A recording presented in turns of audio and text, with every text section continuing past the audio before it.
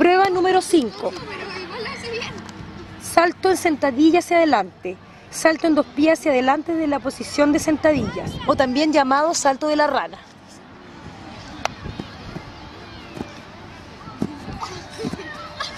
Vuelvan caminando.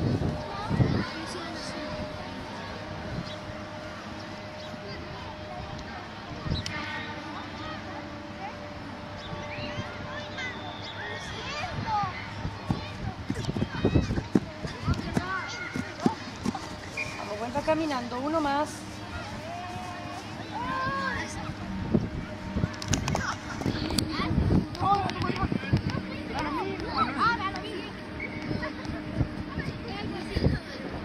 Ya, dale.